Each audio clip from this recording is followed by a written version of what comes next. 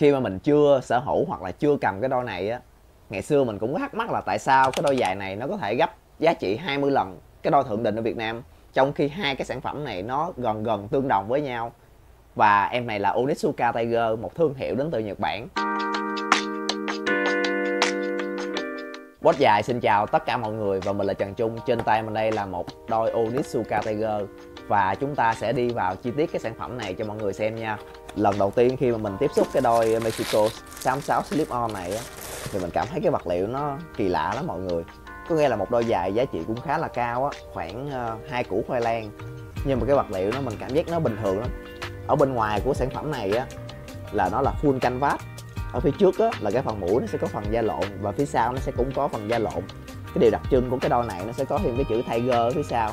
Chắc là cái chỗ này nó cũng sẽ hỗ trợ cho mọi người để mang vô nhanh hơn và cái điều đặc biệt á lần đầu tiên mà mình cầm cái đôi này luôn á thật sự là mình nghĩ là một cái đôi dài gì mà cái đế nó mỏng khủng khiếp như vậy. Cái phía trước của phần phía trước đôi dài này nó chỉ khoảng 0,5 cm và phía sau này chỉ khoảng hơn 1 cm thì mình nghĩ là lỡ mà nó mỏng như vậy rồi mình đạp cái gì đó rồi nó lũ qua đôi dài thì sao? Nhưng mà sau khi mà mình mang thử và mình cảm nhận lại thì thật sự là cái chất liệu nó rất rất là cao cấp luôn.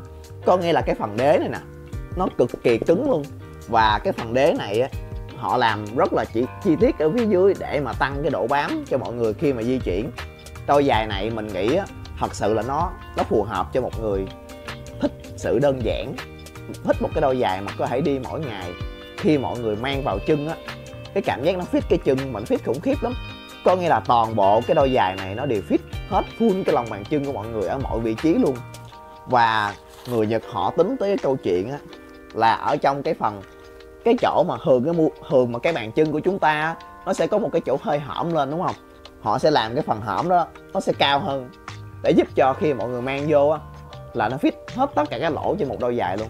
Nó làm cho mà mình mang một đôi giày vô á nó cảm thấy nhẹ nhàng nó cảm thấy là uh, linh hoạt và có thể di chuyển mỗi ngày mỗi ngày luôn.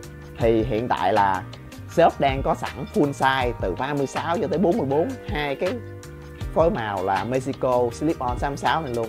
Mọi người quan tâm đến hai sản phẩm này thì liên hệ shop nha với giá là uh, khoảng hai củ khoai lang thôi. Cảm ơn mọi người đã xem video của shop à